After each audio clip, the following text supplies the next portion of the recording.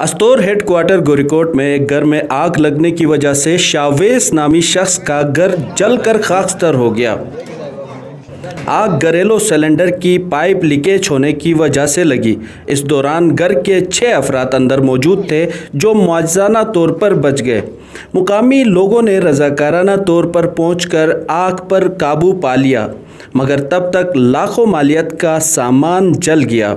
Rescue double one double two को इतला दी गई, मगर उनके पहुँचने तक मुकामी लोगों ने पानी और घर की छत उखाड़कर आग पर काबू पाने में कामयाब हुए और पूरे मोहल्ले को इस आग से बचाया। मुतासरा शख्स का कहना है कि मैं इस वक्त मौजूद हूँ जिला स्टोर के मकाम पर। यहाँ पे जो है आग लगने की वजह से मकान जो है जल कर मुकमल खस्तर हो गए हैं। आग लगने की जो वजह बता रहे हैं, जो यहाँ के जो मालिक हैं, उनका कहना है कि गैस के जो पाइप है वो लीकेज होने की वजह से अचानक आग लगी। इस जब आग लगी थी तो उस वक्त घर के छः अफराद अंदर मौजूद थे। वो बच बच के निकलने में कामयाब हो गए हैं। इनका कहना था कि मेरा माली नुकसान ज़रूर हुआ है, लेकिन मैं शुक्र अल्लाह अदा करता हूँ कि जानी कोई नुकसान नहीं हुआ है।